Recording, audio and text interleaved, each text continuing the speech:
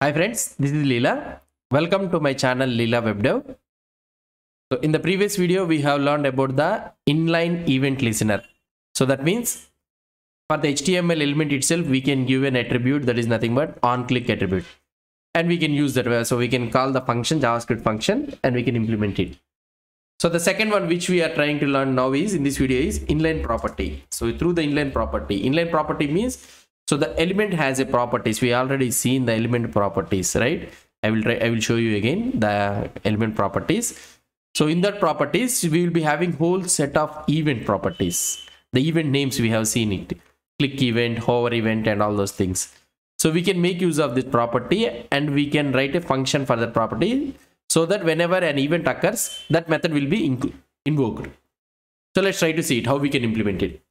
So now normally first one is we will be having a button, right? So this time we will be having a button. Okay. So this is the button. So previously we have included using the on click like this using the attribute. So normally generally the people will say that don't use this one. So this is the old one. So like this they will be telling that. But I am explaining you why because it's already it's there. The implementation is there. That is the reason we need to. It's a it's it's necessary that we should know about that concept also. We'll learn all the concepts so next one is first we need to capture that one. So here how we can get it? Through the document dot query selector. So document dot query selector of button. So first we'll capture that element node. So now what we'll try to do is so we will be having a property that is nothing but on click. So this takes the function. So here i'm using the arrow implement notation. So if you don't have uh, knowledge about this arrow implement notation means so you can refer my javascript course ecmascript course. In that ecmascript course i have explained you about this one. Or otherwise you can also use this anonymous function also. And in this one we can write alert of i or something like this. Okay. That's it. That's it. So this is how we can implement that this is how the inline property is implemented. So let's try to see the practical implementation of this one. So if you go to our uh, here this is our thing. And i am removing this on click. Okay. So this is our button. I am removing the script code also.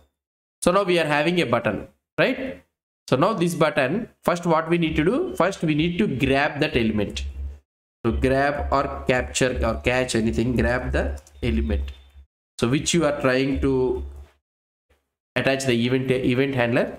So grab that element. So here let button element is equal to document dot i am using the query selector. If you also if you want you can also use the id and you can get it by get element by id so anything you can use it. So here i am using button. That's it. So let's try to console this button element. I will show you the concept. So button element. So let's console this one and see what could be the uh, output here so if I try to see here, we are able to see this element, right? So, but we need to see the properties that are available for this button. So for this one, what we need to do, as I already told you, you know, console.dir. So dir. So now if I try to see here, we are able to get the object representation of this button. And if you open this one, we are able to see way long properties. So there are so many properties available for this button, each one so styles everything we have implemented right? Button dot style dot like this. So where it will be in the a b c d f g h i j k l m n o p q r s. So here somewhere you will be having yeah style dot background color like this you'll be implementing. The same scenario. So when you want to write a handler for a event so here you'll be able to see this all events start with on. On abort on animation on before. These are all the events available these are all the events available. So here we are able to see way long events right? These are all events. In this one we are able to see on click event. So this is the thing which we are going to implement. The same things the same property names which we have seen it here. So you can implement it here also. So in the inline event listeners right? The same name which you are trying to use it the same name is here available so if you are having any doubt, if you want to refer to any properties or anything means you can go here and you can check for the event appropriate event name and you can implement it on drag and drag and on click on mouse over. So you'll be having everything on mouse over, on mouse enter, on mouse leave. So these are all the things are available. Okay. So this is uh, these are all the methods. So right now our implementation is on click. So let's try to use this on click and implement it.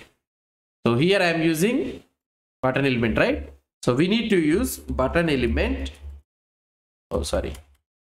Button element dot on click. So we need to use on click. Sorry. On click is equal to. So it is a function. So arrow function, anonymous function I'm using. And here I can write console.log hello world. That's it. Finish. Console.log hello world. It's done. So let's try to see the output, whether we can able to get it output or not. So now if I try to click in this one, so if I try to click here, it is not coming. Okay, okay, I'm using the console, right? So let's try to use the alert, which we have used it previously. Then we can able to see the output instead of seeing in the console. So now if I click on this one, see now we are able to see the alert message also. So this is about the inline properties. This is how we will be implementing the inline properties. So hope you understood about these inline properties. These are very basic things. So that is the reason I am moving very fast, fast forward.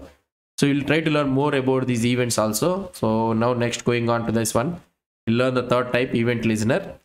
So we will learn those things also. Yeah, that's it guys about this inline property implementation. Hope you understood about this uh, another way of implementation of this event listener also. If you have any doubts or any suggestions, please post the comments below to this video. And if you like this video, please do support me by subscribing to my channel. Thank you.